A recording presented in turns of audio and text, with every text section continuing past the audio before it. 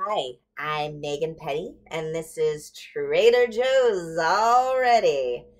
Um, I work at Trader Joe's and have for the last five and a half years. I also work at Burning Tree Renewal Lodge Addiction Treatment Center, where I am a recovery and mindful mentor, as well as a Qigong, Tai Chi, and yoga teacher.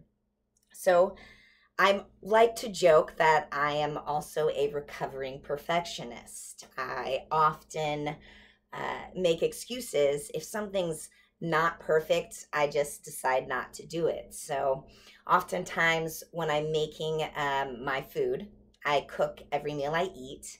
I'm like, dang, I should really be taking a video of this, making a video so that other people can see how fun, simple, and easy it is to make delicious, healthy food.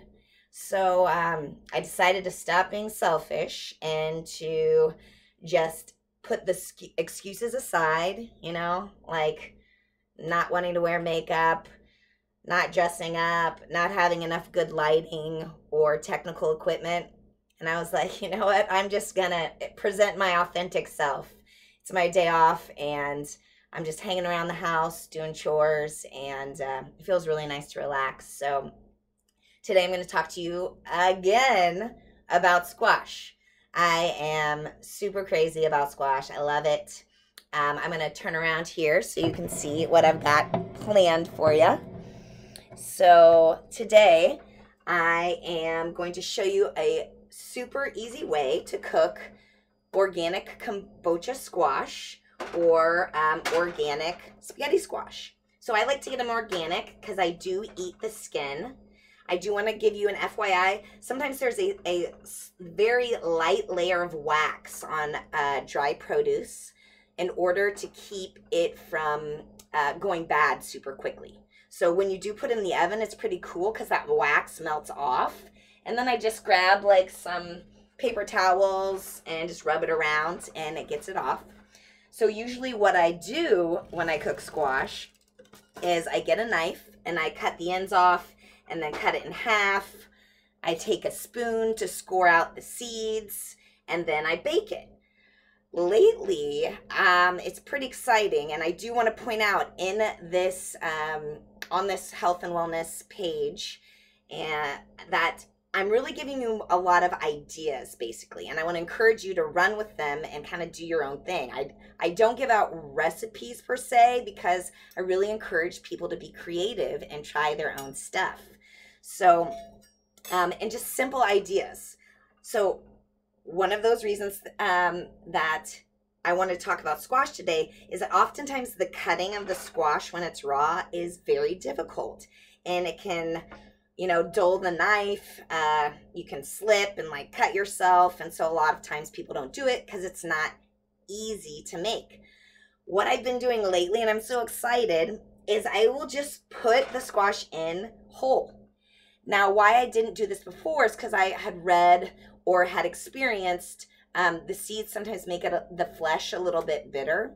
But you know what? I am not um, having that experience now. So I um, prefer it being super simple over any slight taste difference, which I don't even detect.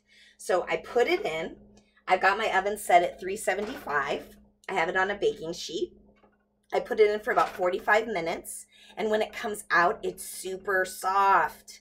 Then it's very easy to just cut off the ends, cut it in half, score out the seeds. And guess what? Save those seeds because you can wash them and dry them out and then put them on a baking sheet with salt and cook them. And they're delicious. They're also really good um, if you have it raw to plant in your garden. Pretty cool stuff. So squash just is amazing. It has so many awesome usage usages.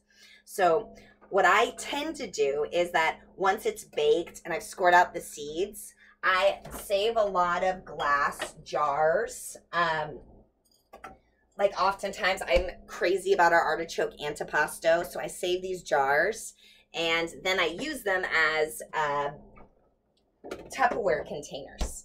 And what I end up doing, because this is giant, I mean, these buggers are huge. Look how big they are.